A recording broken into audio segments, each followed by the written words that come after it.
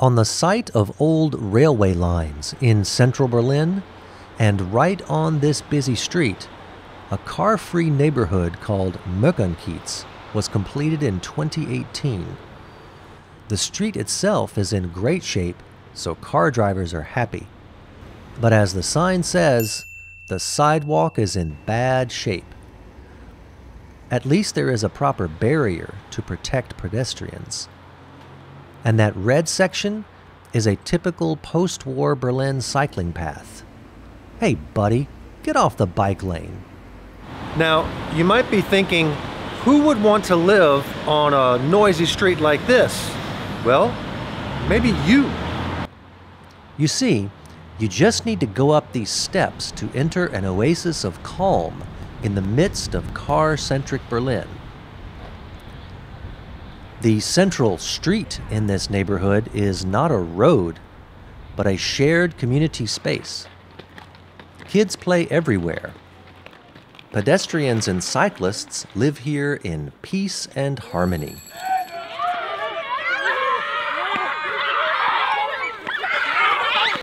Instead of parking spaces, there are bike racks and flower beds.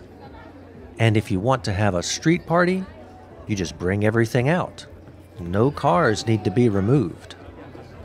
Some 70 residents have the space to share green backyards because they do without parking spaces. But there is also a little town square. Now, if you are thinking, how did the city of Berlin get people to move into a neighborhood where they wouldn't have parking spaces? Well, the answer might surprise you. You see, the neighborhood is a cooperative.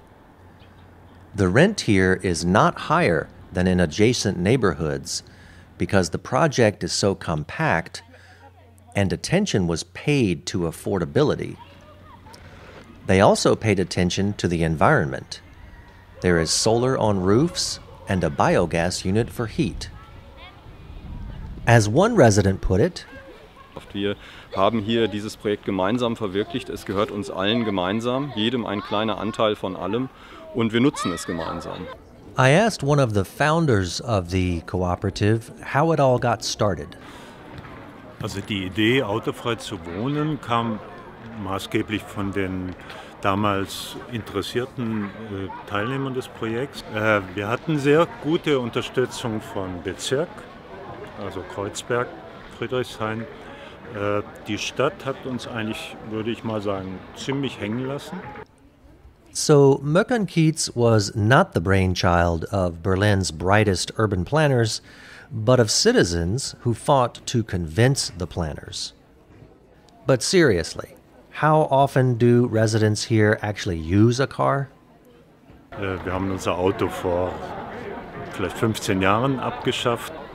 Also ich brauche hier in der Stadt eigentlich praktisch nie ein Auto. Extrem selten. Also einmal im Jahr. Nee, wir leben schon lange ohne Auto. Also ich habe jetzt, seit ich hier wohne, noch nie ein Auto genutzt. Also Taxi natürlich ab und zu. Ich fahre selber eigentlich fast eigentlich nie Taxi. Also einkaufen ist kein Problem. Wir haben die LPG hier. Ich war hier im Biomarkt direkt unten im Möckernkiez, der ist ja super nah, da kommt man direkt hin. Das ist überhaupt nicht umständlich, das zu transportieren, das ist sogar viel praktischer als alles andere, weil ich kann im Laden direkt den ganzen Einkauf in den Wagen packen und vor der Wohnungstür lade ich ihn aus oder wenn ich ganz mutig bin und es trocken draußen ist, fährt der Wagen bis vom Kühlschrank. Aber das ist sehr praktisch, das ist viel besser als zweimal umladen. Alle Läden, die wir brauchen, so weit entfernt sind, dass wir sie gut mit dem Rad oder sogar zu Fuß erreichen können. Super autofreier Kiez hier. Okay, so let's talk about all the cars we saw in this uh, car free neighborhood. Don't say that, don't say that, don't say that, no. To drive in, you just have to get a chip to this ramp, and you can get it from one of the chip officers. Here's one now. Jedes Haus hat seinen äh, Chip-Beauftragten, der die Schrankenkarte verwaltet. Ist das eine Vollzeitstelle? Nein, das, das ist sehr wenig Aufwand ist damit verbunden.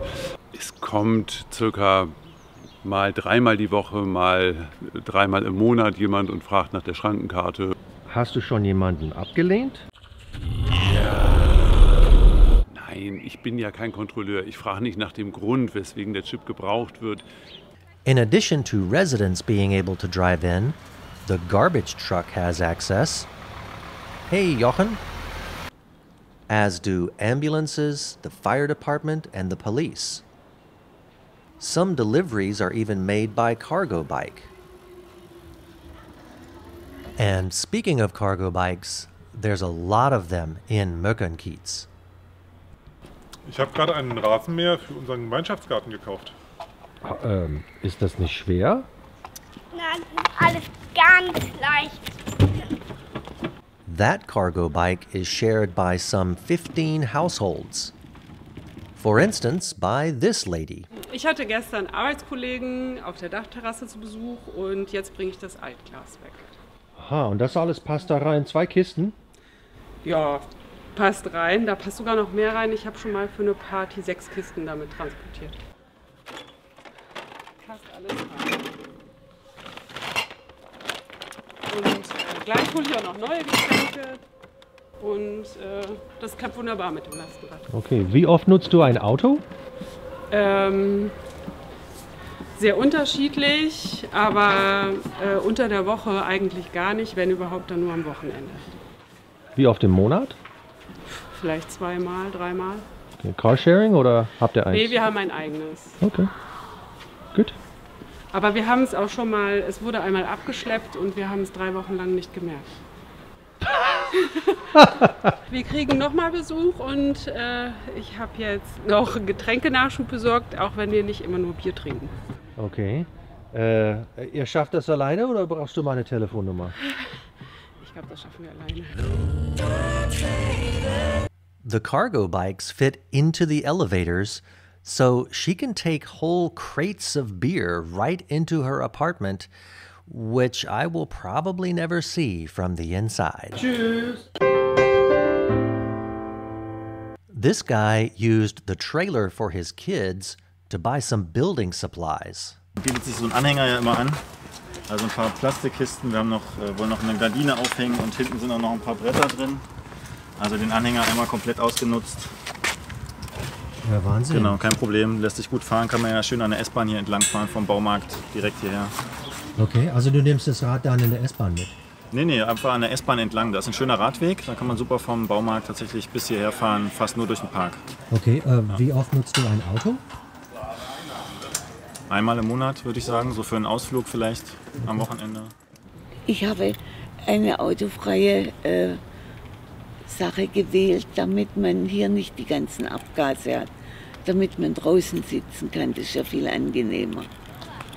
Die Kinder können spielen, ohne dass man immer hinterher ist, dass nichts passiert.